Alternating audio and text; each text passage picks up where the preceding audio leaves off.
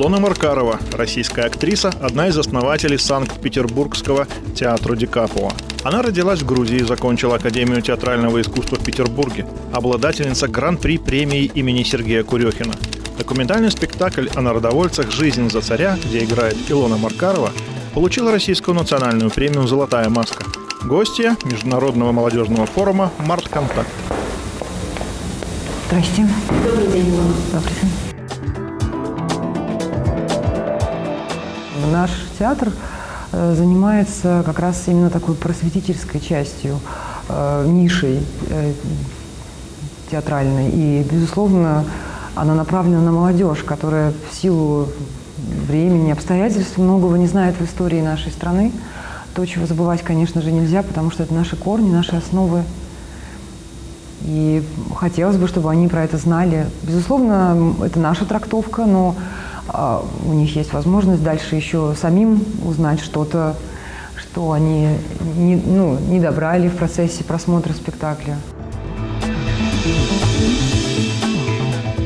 Когда мы работали над спектаклем, безусловно, мы отобрали материал, да, и вот стали думать о том, где это все происходит. И оттолкнулись от воспоминаний одной из членов партии «Народная воля», которая описывала вечеринку перед э, ну, вечеринку по случаю наступления 1881 года, которая, как они все понимали, должен был стать решающим в э, жизни партии и стал решающим. И она описывает то, как они праздновали этот Новый год, танцевали, сняв туфли в шерстяных носках. Геси Гельфман наигрывала на гребенке, а она смотрела на всех и думала о том, кто же выживет – вот единственное, что она не думала про женщин, потому что женщин тогда не казнили, и первой, как мы знаем, женщиной была э, Софья Перовская, которую повесили, а до этого это не практиковалось. Э, и мы решили вот эти предлагаемые обстоятельства и взять как предлагаемые обстоятельства для нашего спектакля. А дальше мы стали думать, что это смешно делать э, квартиру в театре, когда можно сделать наоборот. Конспиративную квартиру в квартире. Благо у нас в Петербурге очень много потрясающих таких мест, которые находятся в центре города, где вот это все и происходило. И только страшно на душе. С этой целью я и стрелял в генерал-дютанта Трентельна 13 марта сего года. И всех богатых вообще. Я своей участи нисколько не горю. Совершенно спокойно встречаю ее. Как могут не зацепить люди, которые хотели по-настоящему что-то сделать для своей страны? И не просто, как это подается очень часто, вот была выставка, посвященная Дому Романовых в Петербурге, я на нее сходила и увидела там большой стенд, на котором было написано, он был посвящен народовольцам, и там было написано, народовольцы поставили целью убийства царя Александра II. Но это очень ложная информация, потому что, безусловно, это была не цель, это были последствия. Их целью, конечно же, была работа в народе и э, что они делали. То есть это все образованные люди, которые специально осваивали прикладные профессии для того, чтобы иметь возможность применить, работать, ну, то есть стать там врачами, инженерами, агрономами, техниками. И э, покинув свои, в общем, комфортные жизни в городе, они приезжали в деревню, где, конечно же, сталкивались с ужасными условиями и жили в этих ужасных условиях. Да, я задаюсь этим вопросом. Я понимаю, что, конечно же, я не народоволец, но я, безусловно, бы очень этого хотела. Но в какой-то степени мы этим занимаемся, потому что у нас независимый театр, и мы делаем это не для денег и не для того, чтобы э, прославиться. Мы играем в маленьких пространствах. Ну, так сложилось, что мы получили золотую маску, но это, э, я не знаю, мне кажется, это не показатель. Мы играли спектакль в полуподвальном помещении, получили золотую маску, вернулись же в это же полуподвальное помещение, продолжаем там играть. У нас как раз 20 марта была премьера спектакля по документам 17 века. А, «Слово и дело» спектакль мы сделали, и это, в общем-то, гораздо более, больший промежуток времени да, до наших дней. И ничего не поменялось. То есть мы видим эти безусловные параллели. Люди, человек всегда есть человек со своими слабостями и пороками, ну, ошибками. И есть прекрасные люди, неизгибаемые, которых не может сломить ничего, и не, которые не боятся смерти, потому что понимают, что в них есть что-то, ради чего они живут. И это важнее страха. Не всегда эти люди бывают положительными при этом. Среди таких людей бывают и великие негодяи. Но это не может не поражать даже в случае негодяев, потому что это действительно что-то движет людьми, какая-то высокая цель. Не просто их интересуют их какие-то жизнь, низменные, какие-то обычные, примитивные жизненные инстинкты.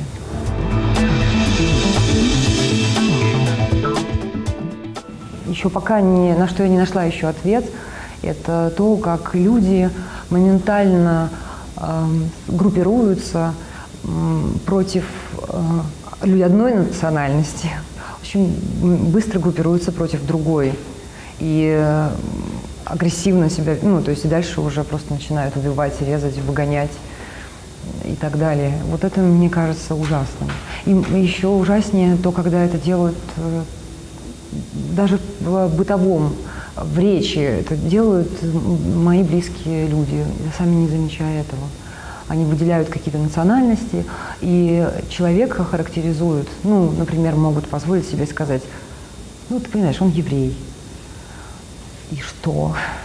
И это меня коробит. Я выросла в очень националистической республике, где было много национальностей, и в какой-то момент э, это стало невозможным быть другой национальности там, а я была вот не той национальности. Я знаю, как это тяжело, когда тебе дают понять, что ты человек второго сорта.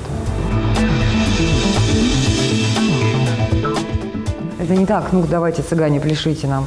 Это совместная работа, потому что зритель, ну, он тоже участвует в этом. И это его работа тоже. Он должен это понимать, когда он приходит. Были на спектакле в рамках фестиваля «Март Контакт». Очень хороший спектакль «Шинель», прекрасный, очень нам понравился.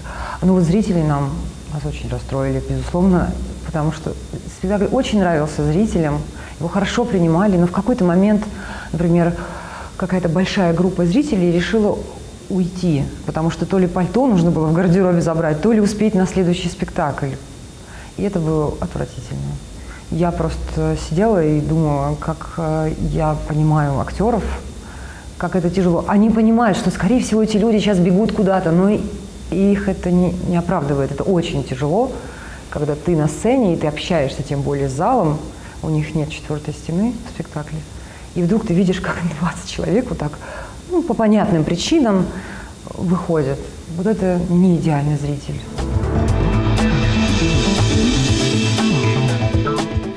Сложно очень.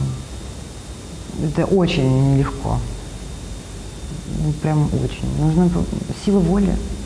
Нужно очень хотеть быть актрисой. И для меня важно не участвовать в дрязгах.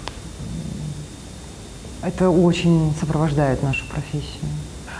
Причем соперничество не а, профессиональное, а бытовое.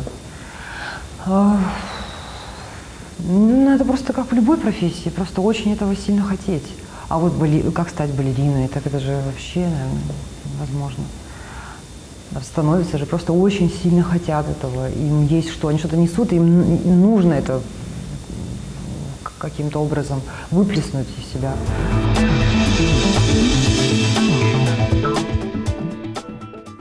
Не знаю, мне кажется, что это не имеет никакого значения. В театральном институте говорили, что и что вот э, нас любят таких достаточно неприметных э, типажи такие, чтобы они могли не знаю, чтобы что они могли, ну, чтобы они были неприметные. Кажется, что вот э, есть такой стереотип, что вот очень некрасивая женщина вдруг выйдет на сцену и как заиграет, и это будет круто. А красивая выйдет на сцену и выяснится, что она полный ноль есть такой момент, конечно, да, когда сразу же ты думаешь, человек внешне привлекает внимание, и он дальше должен это наполнить, да. И наоборот, не ждешь ничего, и вдруг «А, она же что-то может. Не знаю, мне кажется, что это как это важно.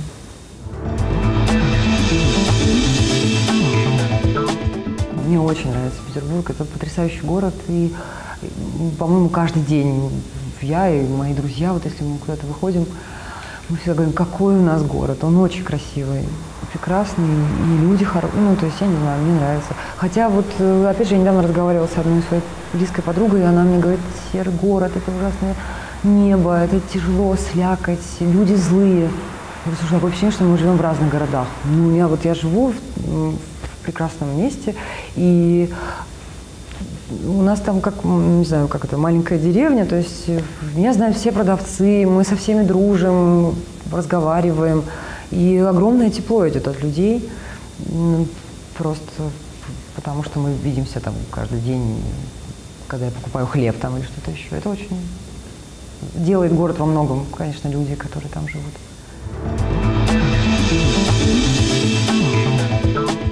А я знаю как раз, что наоборот, когда наступает кризис, то люди наоборот тянутся к искусству, к театру, и еще есть такая, такое же мнение, что художник должен быть голодным, и что только тогда рождаются какие-то действительно интересные произведения, когда человек чувствует, ну, не, как сказать, когда вот эти земные радости, они немножко отходят на второй план по любой причине, даже если просто недоступны по финансовым причинам. Честно вам скажу, вот это воспитание кавказское мое, а, не принято говорить о деньгах, никогда не принято жаловаться и обсуждать вот эти вопросы. Человек скорее, не знаю, помрет, но не признается, что у него нет денег или он не может тебя угостить. А он, ну, как бы, естественно, должен. Все друг друга угощают. Это вечный спор, такой синдром грузинской маршрутки, когда встречаются две соседки случайно в маршрутке, и они всю дорогу ругаются, кто за кого заплатит. И потом начинают, я тебя больше не знаю, если ты за меня сейчас заплатишь, все, не здоровайся со мной.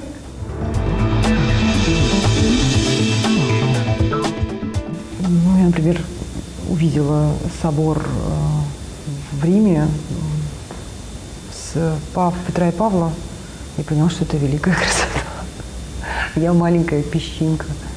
Ну, природа, конечно же, это великая красота. И я понимаю, что я очень ее боюсь и чувствую ее отчужденность, поэтому я не очень люблю природу, но не признать, что она великая красота, я не могу. Ну, вот сейчас это Вера Николаевна Фигнер. Она, эта женщина меня, несмотря на то, что спектакль уже выпущен, ему уже два года, это, безусловно, Вера Николаевна Фигнер, это человек, который я, которым я восхищаюсь. Почему? Расскажите. Великая красота. Ну, это женщина, человек, который звучит гордо, который с большой буквы.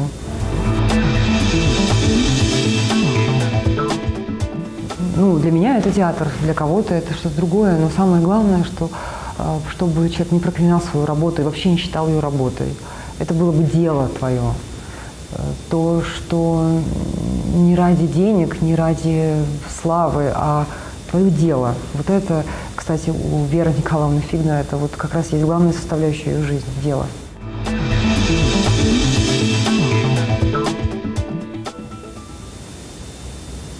Мужчиной.